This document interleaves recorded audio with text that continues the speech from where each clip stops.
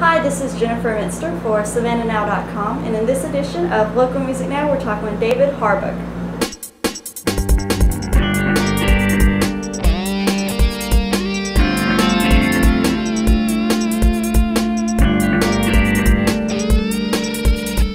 Tell me a little bit about how you got your start in music.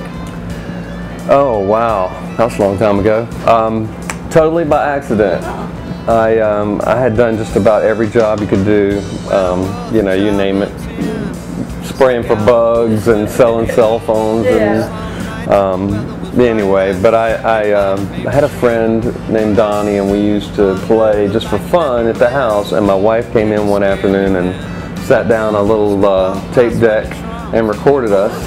And then she took the tape to a bar they used to call uh, lovingly the Southside Gun and Knife Club. it was uh, Chuffles Lounge. It used to be over on um, La Roche, right around the corner here. But um, yeah, the building's still there, but the bar's not. But uh, it was a it was a really bloody place to work. But fifty dollars a night.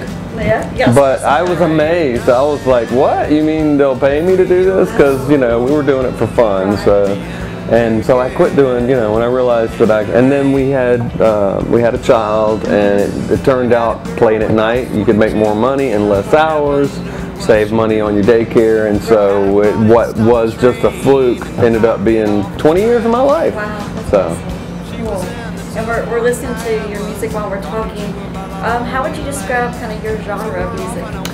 I don't have a genre. That's what I would say. Um, if you go to cdbaby.com, you can check out every CD I have, and every single one of them is different. Um, this particular CD, Naked in the Rain, that the music's playing behind us, um, is, I would say, 70s pop rock, a little bit of blues thrown in there. Um, uh, might even put you in mind of maybe Atlanta Rhythm Section, Lynyrd Skynyrd kind of stuff, but um, but you know, not every track. Right. And and but for every project, I try to do something different. Different. Do you do the songwriting?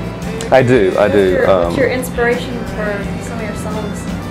Oh Lord, have mercy! And just I guess just life, um, Yeah. you know, life Yeah. experience. Um, you know, um, it- what got me started writing songs, I actually wrote short stories when I was a kid and Oh. poems, poems Yeah. and short stories. And when I learned to play guitar, it was a natural leap. Yeah. But um, yeah, and uh, this was um, this CD was a fundraiser for my daughter Allie's Memorial Scholarship Fund up at Georgia Southern. Well, I noticed on your MySpace page you have a bunch of shows coming up. Tell um, folks where they can find out more about you.